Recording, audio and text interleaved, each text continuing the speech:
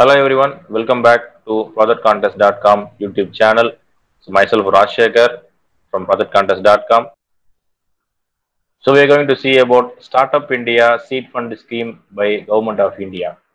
So we know that the startup culture is now been evolved in India for the past few years uh, from now, and many uh, students and budding uh, youngsters are uh, very interested in developing their own startup venture. So in this regards, now Government of India to various initiatives are reaching to the uh, ideators and innovators for starting their own venture. One of such initiative is this Startup India Seed Fund Scheme. To explain more about the Startup India Seed Fund Scheme, we have an expert in the name of Mr. Gautam Palaniswamy, CEO of Business Incubation Center, Periyar University. We welcome you, sir. Thank you. Thank you so much, sir. Uh, Yes, sir. Good morning, uh, everyone. Uh, this is Gautam Palaniswamy, CEO of uh, Periyar University Business Incubation Confederation. The Government of India, with the view of creating a sustainable entrepreneurial ecosystem in our country, uh, they have initiated Startup India campaign in the year 2016. In that uh, Startup India campaign, one of the prominent as well as most important uh, part of the system is this Startup India's seed fund scheme. So the seed fund scheme uh, opens on July 1st for uh, startups. So before explaining more about the scheme, what is the seed fund?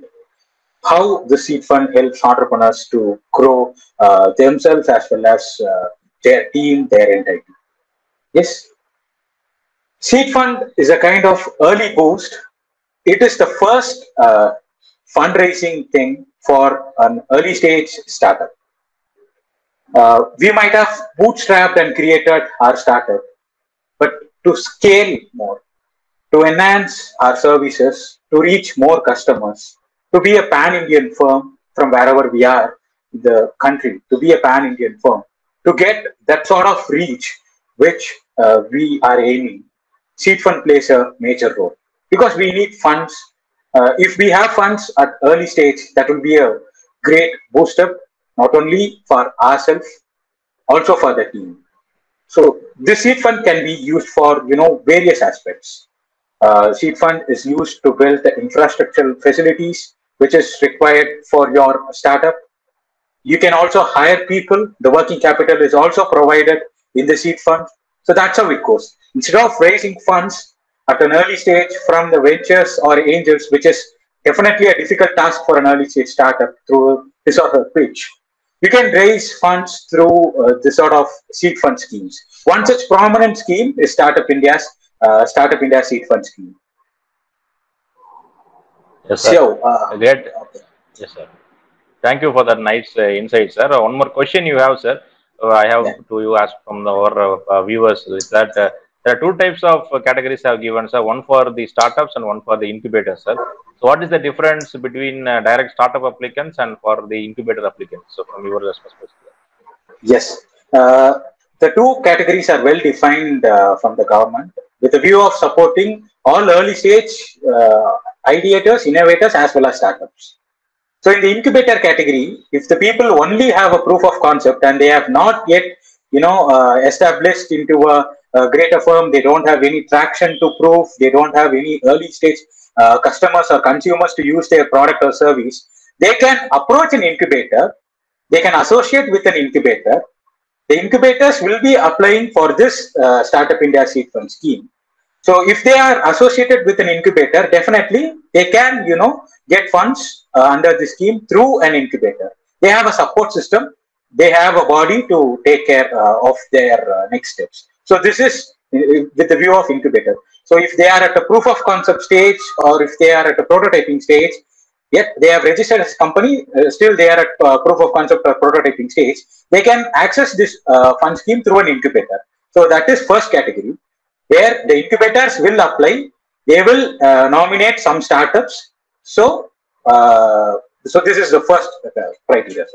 The second criteria is directly for startups. They have established an entity, they have hired people, as I said, they would be uh, seeking some support for their scaling up stage, infrastructure, uh, you know, establishments, or uh, to uh, enhance their uh, services, or to you know grow their team in numbers. So startups, especially who have been recognized by DPIIT, which we will uh, normally say as DPIIT recognized startups, and registered firms, especially uh, LLPs, private limited firms, they can apply under startup category. So these uh, these two are the prominent categories.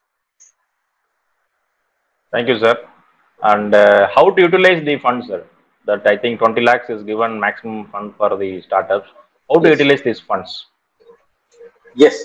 Uh, what I would suggest uh, in the incubator point of view is uh, you have an internal committee to take care of fund disbursement. Uh, while planning itself, the planning should be crystal clear because uh, the applications will be, you know, scrutinized and uh, it will be validated by the topmost expert committee of the country. So before applying itself, have an internal scrutinization, discuss with your mentors, discuss with your network partners, and be as much diverse as you can. Uh, have a vision for the next five years while applying uh, for the seed fund itself. Uh, mention your requirement for the next five years. That will do good. After receiving the funds, then you can utilize uh, as per your strategy, which you have implemented during application. This is one simple thing to get funds. Thank you, sir. Thank you for uh, coming out in your busy time and uh, sharing your views on this uh, Startup India uh, scheme, sir. Anything you want to add finally, sir? one thing I should be very clear, sir. If people uh, get this fund or do not get this fund, that doesn't matter because there is a myth in entrepreneurship. Only with money we can proceed ahead with our business. That is definitely a myth.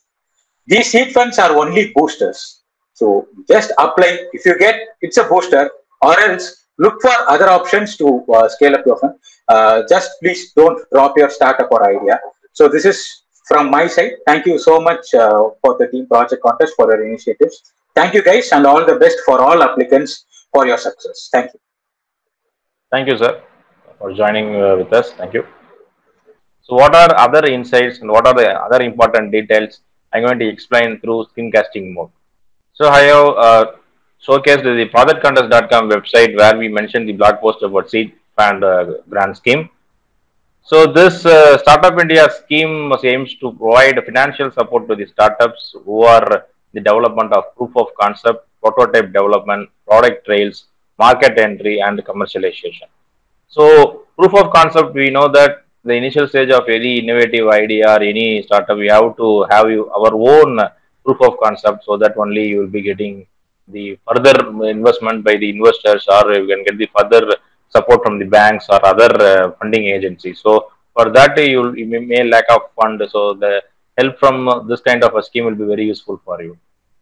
So moving on to the next, who can apply for this uh, grant is that an early stage startup who are lesser than two years and recognized by DP IIT of uh, Government of India can apply for this uh, startup scheme. So this uh, startup scheme must have a business idea to develop a product or a service with the market fit. So here you should compulsorily have a product or a service, not other uh, kind of startups can apply for that. So you, you should have that, that point startup should be using technology in its core part or service or business model or distribution model and scope of scaling. So these are some of the constraints and the main focused area for this year's seed fund scheme is that social impact, waste management, water management, financial inclusion, education, agriculture, food processing, biotechnology, healthcare, energy, mobility, defense, space, railways, oil and gas, textiles, etc. So this grant will not be exceeding about around the money of 10 lakh uh, as a given support and it will be given uh, uh, in a separate separate time. You, you will not receive the entire amount on starting itself.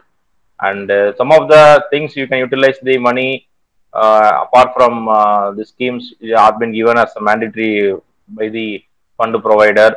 And uh, for applying for this grant, you should not earlier got fund in any of the incubators and supporters and which also includes competition and grant challenges by the incubators or government of India.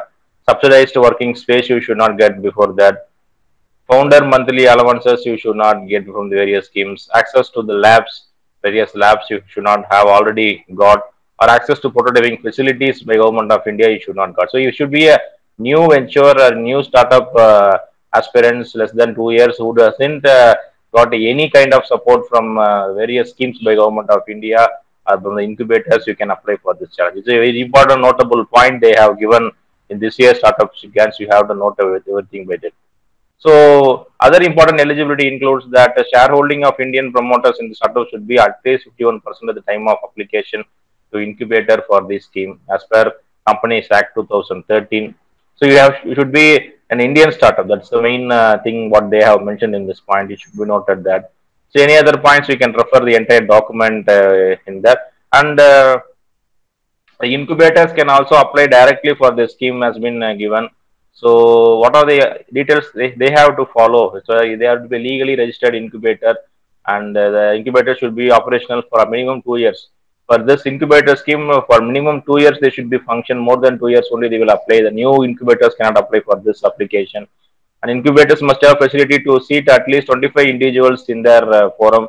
Incubators must have at least five startups are undergoing in their incubators so that only they can apply for this scheme.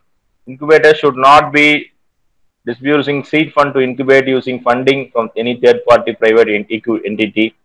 So this has to be taken care by the incubators. The main point they have given is that uh, you should be minimum of uh, two years uh, older incubator and 25 individuals uh, minimum working space you should have and minimum of five staff startups running in your incubator is mandatory for applying for this scheme. So these are some of the points and additional points you can uh, refer uh, our website or direct seed fund grant website. So as I said earlier, uh, a validation uh, amount of 10 to 20 lakhs will be given, maximum of 20 lakhs will be given for developing your proof of concept or prototype development for the individuals, uh, startups, and uh, for the incubators, uh, 50 lakhs investment will be given for the incubators. And uh, these are some of the things they have mentioned in the seed, seed fund scheme. scheme. This is about the Startup India seed fund scheme to know more and uh, to have any doubts, you can post in the comment section. Share this video to the uh, early stage startups and budding innovators who may be using this uh, kind of a scheme to develop their career and uh, to accomplish their dream. Thank you for watching this video.